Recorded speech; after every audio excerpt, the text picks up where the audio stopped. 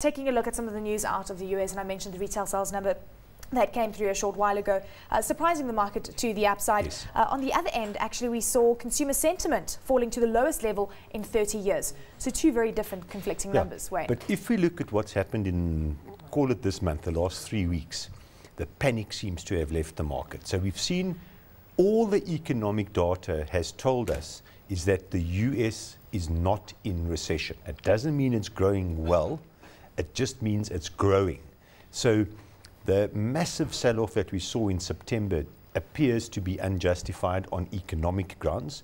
Uh, we've also seen some, hopefully, some resolution in Europe. It doesn't mean the problem solved. It just means they're going to give enough liquidity to the market so that the markets don't dry up. So, quite frankly, we're now exactly where we were in August.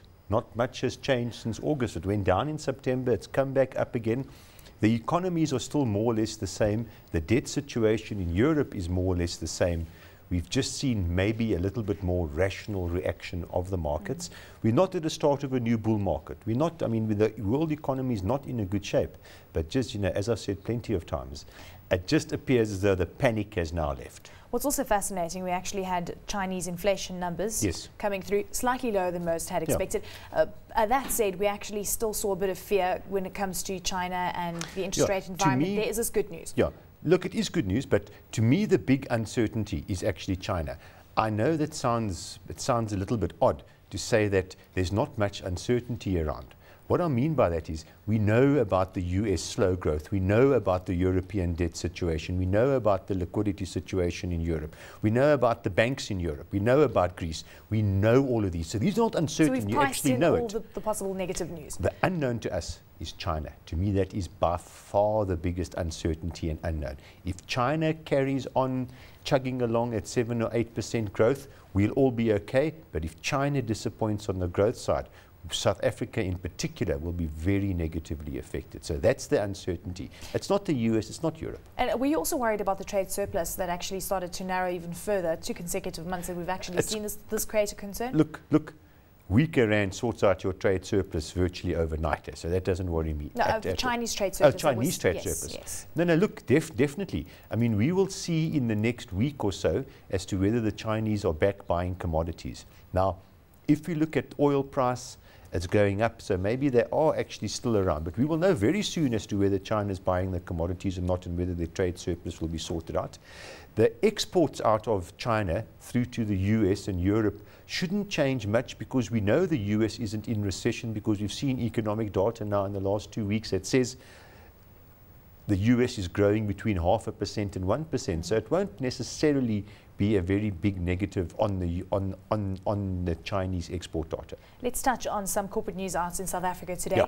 Telkom Yes. Yes, some good news that we've actually got quite a bit of interest well, from the share Korea price Telecoms. was up. The Absolutely. share price was up five percent in early today. Now it's only up one percent. And wanting That's quite strange. A, a massive. Um, we saw a big knee-jerk reaction. Yes. So a bit of optimism because this uh, Korean company wants to buy around a twenty percent stake. Yeah. Uh, so amounting to quite a chunky no. part, and thirty-six rand a share. So quite yeah. a nice premium there. Yeah. Look, they're, they're going to issue new shares now. As existing mm. shareholders, aren't too happy about this because we're not allowed to participate. So it's not like a rights issue. So someone else is getting shares in Telkom, which means our share in Telkom gets diluted. Now, it would be okay if they were paying a 20% premium because then they would be buying 20% of the shares at a 20% premium. So as other shareholders, you're actually neutral. We're actually worse off now because they're only buying it at a 15% premium, but they're giving 20% to the company. When you say away. we, hold Telkom? The existing, existing Telkom do you shareholders. hold Telkom, where? Very small, but you have got some Telkom, yeah. So actually for non, uh, uh, the people not buying the shares, as the, uh, the, existing shareholders, you're actually getting diluted. So it's not good news for you. That's from a share, well, from existing an shareholder, shareholder perspective. Yeah. What about um, what the overall strategy for the company? Is this good news? yes, it is. No, no, look, it is good news. They're getting some more cash in the balance sheet, which will pay for 8ta because they're going to overspend on 8ta. I, I, have no doubt about that. Also give them some more capex. But more importantly, I mean, Korea is the most wired country in the world when it comes to internet and broadband and all of these things that I don't actually so quite understand. So why take interest in a South African telecoms company? Because maybe they see the turn to actually use the infrastructure and get something out there and compete with the cell phone companies and compete with the other service providers. Maybe they see the opportunity there because they have clearly got the expertise to do this. Would, so would you, what would you, your play on Telkom be right now? What would you do? What the next move? Look, Telkom has looked cheap for so long and it just continues to look cheap. We're not going to buy anymore. Um, we're worried that they're going to massively overspend on 8ta and never show a profit and end up taking another multi-links story on, on, on 8ta. So we're not going to buy anymore. We're going to sit with what we got. When it comes to the vote as to whether they should issue 20% or not, we'll have to think about how we, what we're going to do there because you are getting diluted. Mm. Um, but yeah, we're not going to buy anymore. Uh, we saw quite a bit of uh, speculation coming through from SAB late last week, this time last week. We spoke on that. Yes and uh, that seems to have waned completely. Yeah, look, is we'll, it priced we'll in, or people just waiting for the facts? We'll see what happens, but I think there actually probably will be some sort of deal, some sort of consolidation in it, and that's one of the reasons why SAB is going for Fosters, just to make it more difficult, more expensive, high bigger premium when, you, when, when another person comes in to pay. A buy for you right now? No, it's expensive. No, it's very expensive. A bit expensive. Uh, touching on Sasol, we also heard news out earlier this week with regards to its uh, Iranian assets. Again, sanctions that could be put forward against all multinational companies that are operating in that region. Is that significant enough for you to look? It's fairly big, it but understand understand wherever wherever multinational companies work worldwide, there's always an issue. They either haven't got the infrastructure or they haven't got the legal system or the governments want to interfere and take a share of it or it's expropriation. It's just, it's the same all around. So these are just the risks of a multinational. And quite frankly, even given this, the Sasol share price is cheaper. This is not expensive. And of course, it went to ex-div um, yeah. a little earlier this week. Yes. And speaking of companies that are having trouble in certain geographies, Goldfields in uh, the likes of Kyrgyzstan as well, they're yeah. also having drama coming through there. Uh, so again, this is just That's the price just that you the pay. price to pay to, to, be a multinational. I mean, it's interesting. We get so worked up about this whole nationalization debate. This is just one issue. There's issues wherever you go worldwide for these multinationals. So don't think that they sort of saying South Africa is a terrible place to invest because of this nationalization debate. This is things like this happen in virtually every jurisdiction that they operate in. It's just part of life. So we've seen quite a nice recovery with yes. regards to the commodity prices, and we've got Kumba, which is up 4.5%, Implats up 4.2, yeah, Assore is up 3.2. I mean, and again, the Chinese story, is this, is this, linked to the Chinese story, Wayne? It's linked, to the, it's linked to the realization that the world is not on the brink of a double dip recession. That's essentially all it's linked to. So now, if you just had to look at the Brent crude price and look at nothing else, it's now almost back at that 120 level where it was before this whole double dip or the second double dip or the double double dip story started surfacing. So, I mean, who knows what happens next week? Markets are still volatile.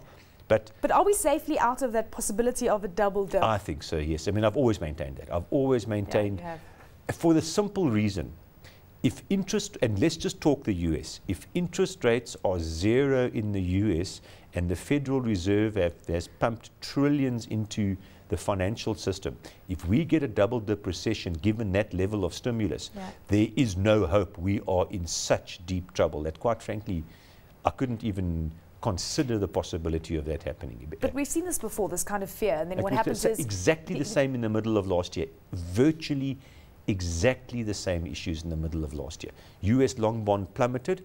This time around, US long bond plummeted. Now, the US long bond's up from 1.9 to 2.3 or 2.4%.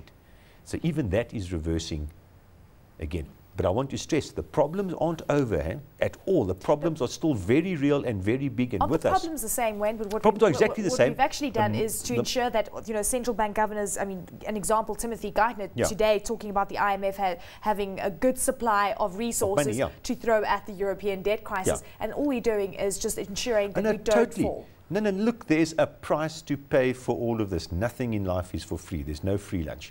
So at some stage, we'll pay the price. Now, what I don't know is, is the price high inflation?